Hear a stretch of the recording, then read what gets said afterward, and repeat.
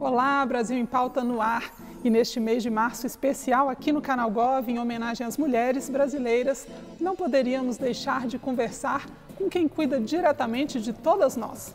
A ministra das Mulheres, Cida Gonçalves. Sob sua liderança, o Ministério combate a violência contra as mulheres e trabalha pela igualdade de gênero, com políticas públicas abrangentes.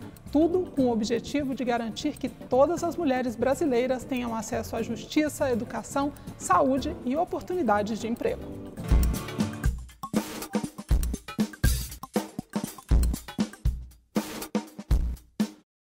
Ministra, obrigada pela presença. É uma honra te receber aqui no Brasil em Pauta. Eu que agradeço estar aqui hoje, um ano depois, né? Mais é de volta. Vez. Que bom, seja sempre bem-vinda. Ministra, como falamos, mês de março, mês que comemoramos né, o Dia Internacional da Mulher. Está certa essa palavra, ministro? Comemoração? Podemos já comemorar ou ainda temos um caminhozinho aí pela frente? Eu acho que nós podemos comemorar as conquistas. Nós tivemos muitos avanços nessas últimas décadas, mas ainda temos muito que fazer e muito que lutar. Então a gente toma um fôlego, né? nos garante é, condições de respirar, porque nós temos que continuar por questão da igualdade, pelo enfrentamento à violência, pelas discriminações, pelos preconceitos que nós vivemos, nós ainda temos muito que conquistar. Infelizmente ainda temos, né? Mas como falei, muito trabalho vocês têm tido, então temos muitos assuntos. Vamos começar aqui com o primeiro. Foi recentemente lançado o Plano de Ação, né, o Pacto Nacional de Prevenção aos Feminicídios. E nesse mesmo dia a senhora ainda instalou quatro fóruns nacionais. Explica para a gente que avanços são esses, como esses lançamentos vão beneficiar as mulheres. Na verdade, os fóruns eles funcionam como um fórum permanente de debate entre a sociedade e o governo, né?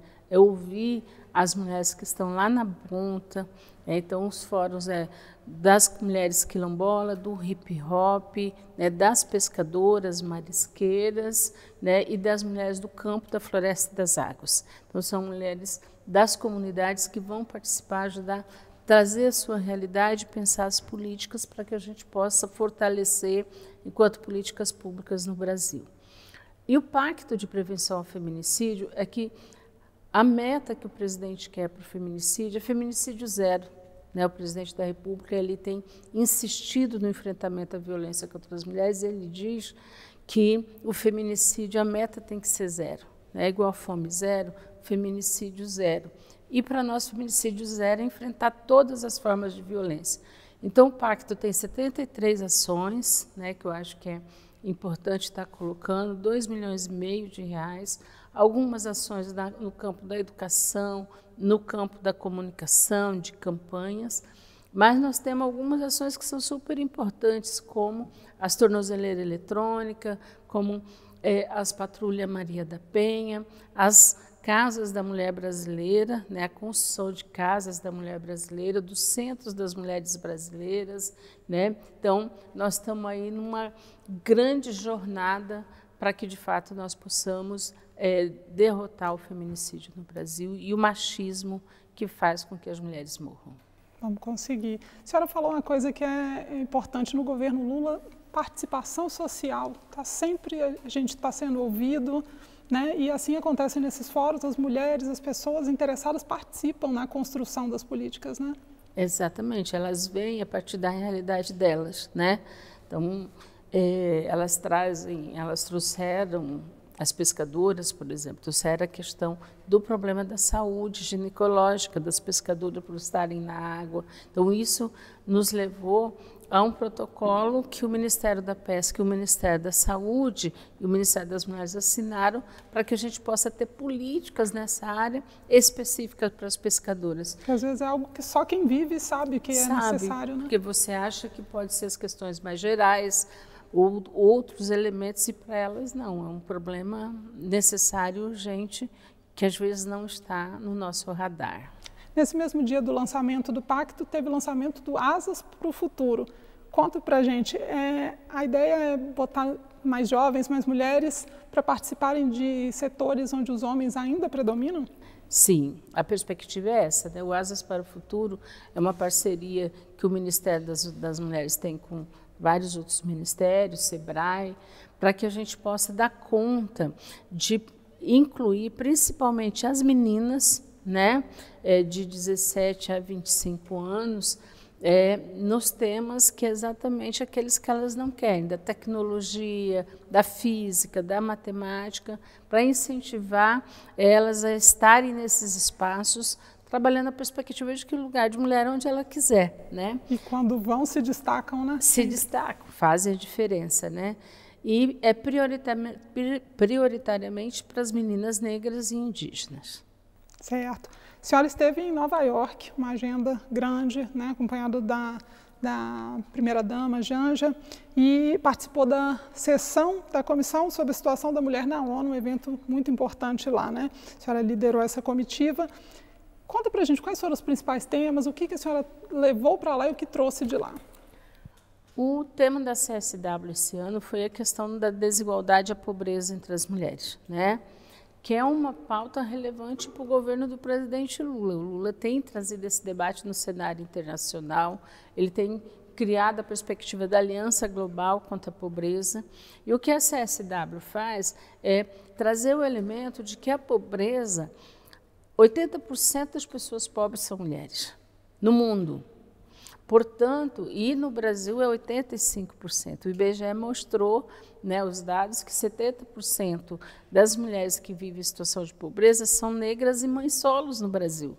Né, os dados são agora de 2023. Então, são dados importantes que a CSW discutiu, junto com a questão da justiça climática, né, que é um, um debate internacional, e nós, do governo brasileiro, é, nós levamos também a discussão sobre o G20. Né? Nós fizemos é, 10 bilaterais com diversos países, como a Alemanha, a União Europeia, os Estados Unidos, a África, né? Angola, né? a Espanha, o Chile. Nós fomos com diversos países, eu e Jean já fizemos as bilaterais, para fazer as pactuações, o que, que é comum em cada país. E lá, é, no, no, no plenário né, da CSW, que foi o meu uso de fala, foi para dizer o que, que é que o governo brasileiro, o que, que o governo do presidente Lula está fazendo para enfrentar a pobreza. E é importante dizer que 85% das pessoas que recebem Bolsa Família são mulheres, né? e a grande maioria mães solos. Nós já tivemos é, mais de 80% de mulheres, de pessoas que receberam a chave do Minha Casa Minha Vida também são mulheres. Né? Então, essas políticas nós levamos né, como política de é, enfrentamento do Brasil à pobreza e como é uma política que pode ser seguido pelos outros países, tratado pelos outros países como modelo. A senhora falou G20, né? Esse ano é especialíssimo para a gente, sediando aqui o G20, presidindo o G20. A senhora lidera o grupo de trabalho de empoderamento das mulheres, né? O que, que a gente pode esperar desse grupo, levando para a reunião de cúpula no final do ano, em novembro?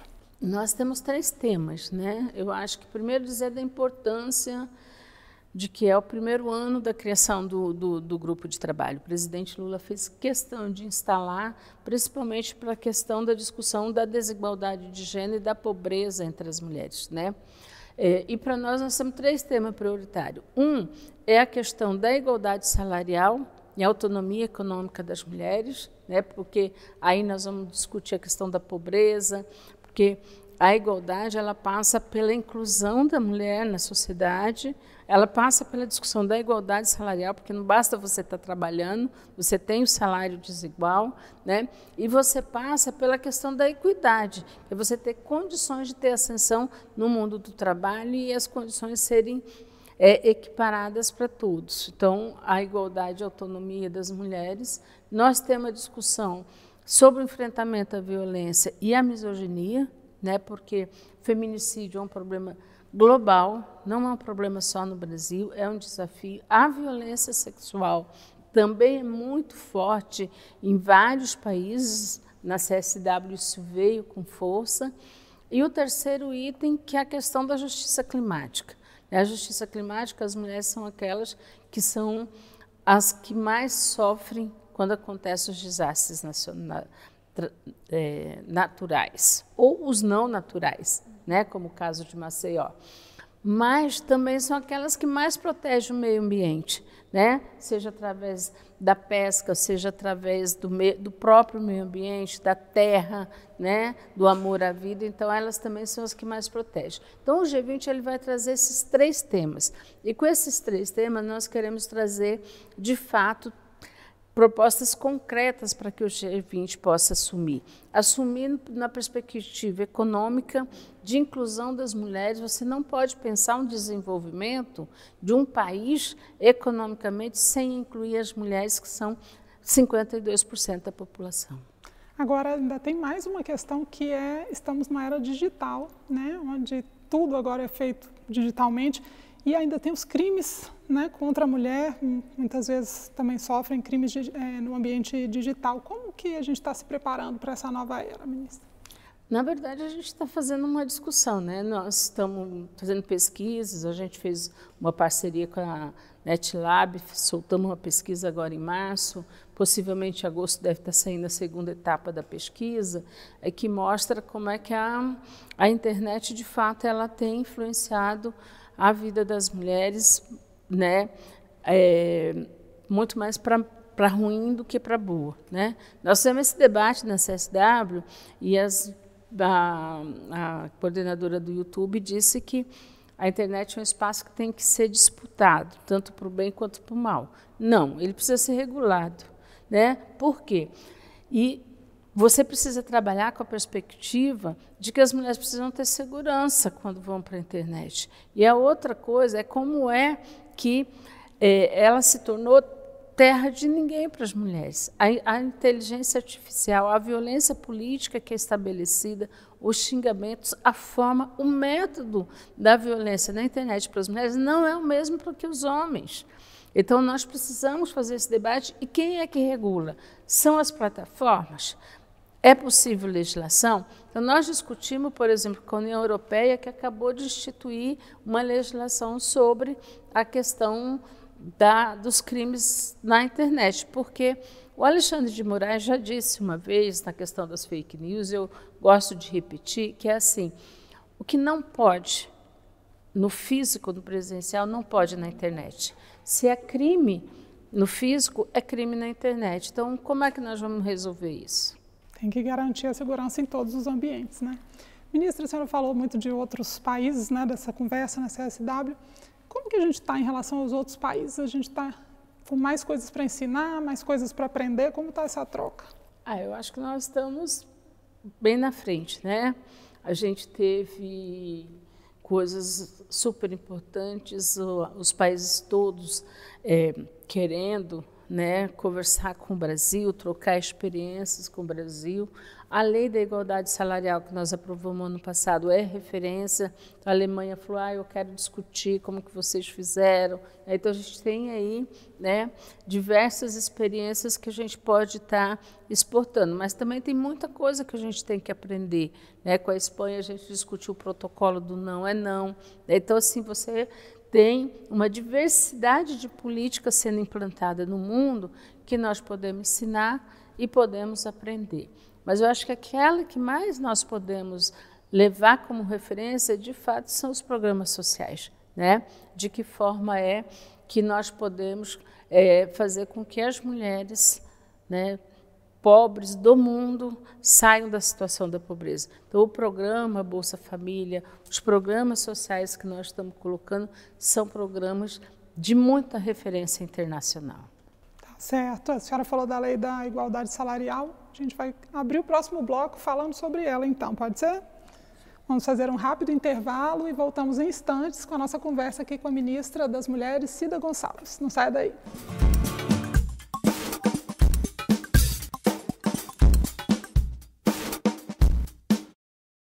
Já estamos de volta e a conversa hoje é com a ministra Cida Gonçalves. Ministra, ganhamos recentemente um presente que a gente chama de Lei da Igualdade Salarial e Remuneratória, né? Mas ainda existem entidades criticando essa lei.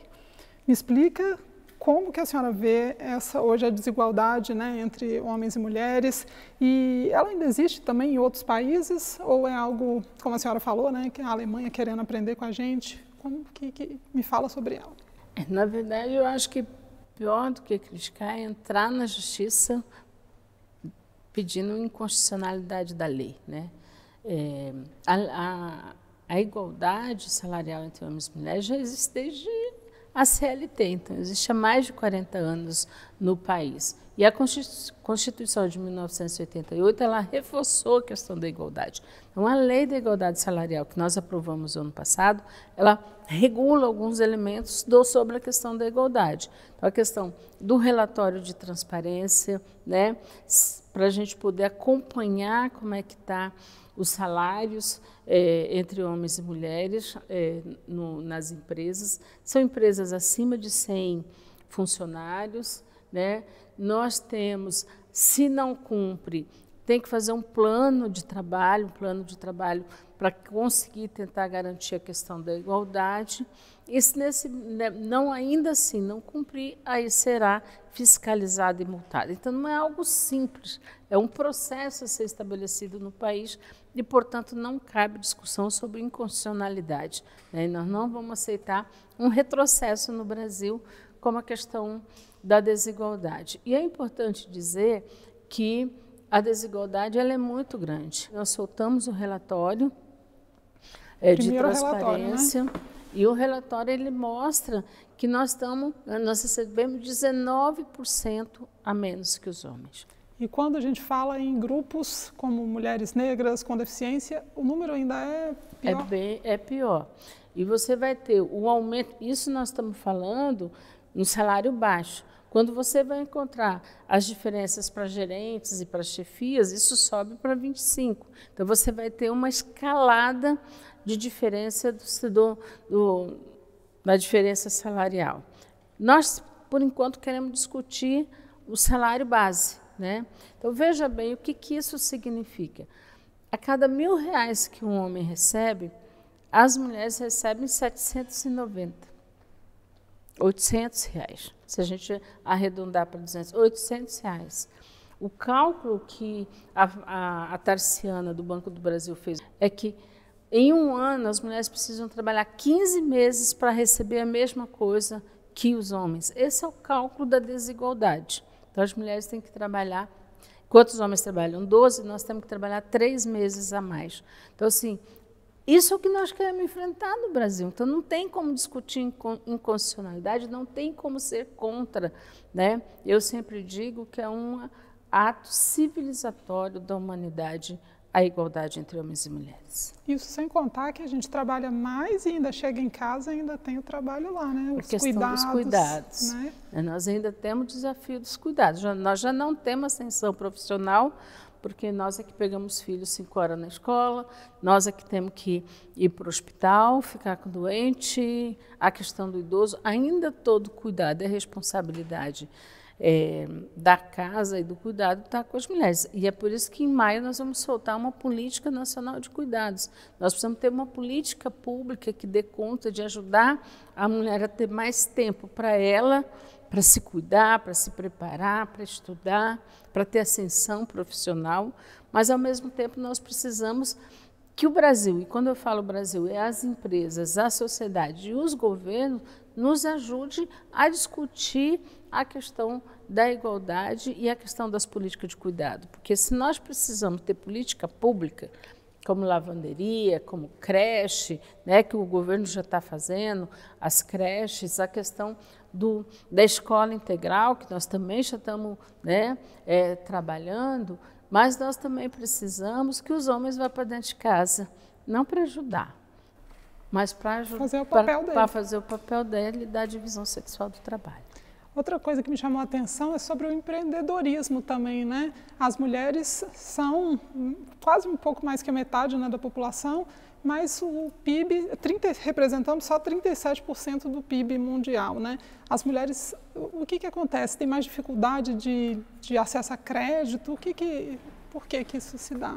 É, primeiro, tem dificuldade de acesso a crédito. E, a primeira dificuldade é exatamente estrutural, Por quê?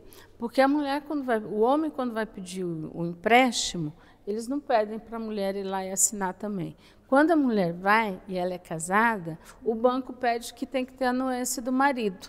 Portanto, você tem uma primeira grande dificuldade da mulher ser aquela que decide seu próprio negócio. Protagonista. Seu, ser protagonista.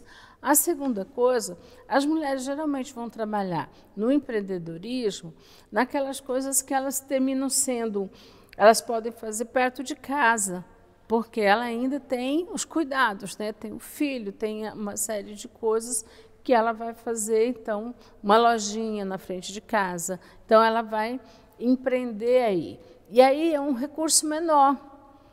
E os bancos não dão esse empréstimo ou se fazem, o juro é alto. E esse é o debate que está sendo feito a nível internacional e mesmo aqui no Brasil, o Ministério das Mulheres, eu tenho discutido isso para dentro do governo e também para fora do governo, que nós precisamos ter um fomento para as mulheres. As mulheres pagam, elas são boas pagadoras, mas elas não podem ter o mesmo juro. Elas, elas querem um empréstimo de 500 reais para comprar um forno para fazer o doce, o salgado né, elas não podem pagar 5 mil de juros. Né, elas não vão fazer uma dívida que elas não vão pagar. Por falar em investimentos, né, o orçamento. O orçamento de 2023, vocês, o Ministério, executou ele praticamente todo. Né? Que impactos esse, todo esse investimento, todo esse orçamento já trouxe de positivo? E o que a gente pode esperar aí para frente? Bom, o impacto a gente vai começar a sentir agora, né? porque eu acho que a gente pagou o final do ano, pagou o ano inteiro e agora é que vai começar a ver os resultados. Nós já inauguramos duas casas da mulher brasileira, né, a de Salvador e a de Teresina. Nós estamos para inaugurar a de Ananindeua. Nós já inauguramos dois centros de referência em Goiás. Queria que a senhora Nós explicasse a diferença entre, para as pessoas entenderem, do centro de referência e a Casa da Mulher Brasileira. É, a Casa da Mulher Brasileira, ela é composta por todos os serviços que exige a Lei Maria da Penha: delegacia especializada, juizado, defensoria, promotoria, o apoio psicossocial, um abrigamento provisório, a patrulha Maria da Penha, né? Tem é, o, então tem os diversos serviços que estão no mesmo local para atender as mulheres. Então, ela é um espaço maior, é um espaço de 2.700 metros de áreas construída ou 3.700 se for na capital. E hoje já temos quantas no Brasil? Hoje nós estamos com nove casas nove em funcionamento casas. nas capitais. Uhum. Né? É, e os centros de referência, eles são menores, eles são para fazer o atendimento psicossocial, muitas vezes o jurídico, então eles são um espaço menores para fazer o primeiro atendimento. A gente tem um outro recurso muito importante que é o 180, né? E vocês recentemente fizeram uma parceria com a DataPrev para poder aprimorar a governança desses dados. Como que está funcionando o, o 180? É, na verdade, o, o, acho que é importante explicar, o 180 ele é um telefone público, gratuito, qualquer pessoa pode ligar de qualquer lugar do, do país, né, vai ter o atendimento. Ele é feito para dar orientação, informação. E nos casos de denúncia, a gente orienta que liga no 190, né, se for, tiver acontecendo naquele momento. Então, isso é importante começar dizendo. O 180, ele tem várias funções. Uma primeira, é, ele tem um, um mecanismo que, para ele passar as informações para as mulheres, nós precisamos ter informação. Nós precisamos saber, em qualquer lugar desse país, onde tem um serviço que pode atender aquela mulher. Um centro de referência, uma Casa da Mulher Brasileira, um CRAS, um CREAS, qualquer espaço que tenha condições de atender essa mulher. Então, nós temos no 180 uma, todo esse material que está num sistema que a gente chama do sistema 180 e, ao mesmo tempo, o número de atendimentos. Veja bem, nós temos, em 2023, foi 1.500 atendimentos dia no 180. Esse ano nós esperamos ter mais, porque nós já estamos melhorando a qualidade do atendimento, nós vamos expandir com a nova licitação. Então, é, nós precisamos ter uma estrutura, um sistema que dê conta disso. Então, o DataPrev é para que a gente possa ter os dados analisados, os dados a tempo real, para que nós possamos, numa entrevista, num caso, né, e também para que a população possa ficar sabendo. Porque eu acredito que o melhor mecanismo para salvar a vida de uma mulher, seja da violência ou na luta por igualdade, é a informação. Se a mulher souber o seu direito, ela vai à luta. Ela vai brigar por isso. Então, nós queremos um sistema do 180 que possa dar a toda a população brasileira, homens e mulheres, informações para que nós possamos enfrentar a violência contra as mulheres e a desigualdade e a discriminação que está colocada. Conhecimento é tudo, né? Ministra, vocês trabalham em conjunto com diversos órgãos, né? E também com é, governos locais, né, estaduais, municipais. Tem um edital aberto até agora para empoderar também as, as secretarias estaduais, poderem dar mais apoio para as mulheres? Sim, trabalhamos, nossa pilar do Ministério são as secretarias estaduais e municipais de mulheres, né? São elas que tem a capilaridade lá na ponta. É lá que acontece, é lá que elas dão conta. Então, nós vamos fortalecer. O ano passado, nós soltamos um edital. Desse, nós conseguimos pagar para 15 estados. Agora, nós abrimos para os outros que estão faltando. Nós vamos abrir para os municípios também. Né? Por quê? Porque é para garantir infraestrutura, para garantir que essas secretarias possam reunir as secretarias municipais, porque eu sempre digo qual é o desafio da política pública para as mulheres? É que quando você pensa em saúde, você pensa numa estrutura que tem Secretaria de Saúde em todos os estados, todos os municípios brasileiros. Nós hoje estamos com 500 secretarias estaduais e municipais. Nós precisamos chegar em 5 mil municípios. E é por isso que nós precisamos investir em recurso em lideranças, em mulheres que tenham condições de negociar com o prefeito, com o governador, para que as políticas aconteçam lá na ponta, lá no município, que é onde vive a mulher. E com tudo isso, então, a gente pode esperar que não tenha mais só o 8 de março, que todo dia re realmente seja Dia da Mulher. Se depender do governo federal e do Ministério das Mulheres, todo dia é Dia das Mulheres, porque todo dia nós precisamos enfrentar a discriminação, Todo dia nós precisamos enfrentar o preconceito e todo dia nós precisamos lembrar que nós precisamos de igualdade. Obrigada, ministra. Foi um prazer. Seja sempre bem-vinda. Obrigada. Essa foi a minha conversa com a ministra das Mulheres, Cida Gonçalves. Se você quiser rever esta ou outras entrevistas, siga as nossas redes sociais, baixe o nosso aplicativo, acesse o nosso site ou nos ouça pela Rede Nacional de Rádio. O Brasil continua em pauta aqui no Canal Gov.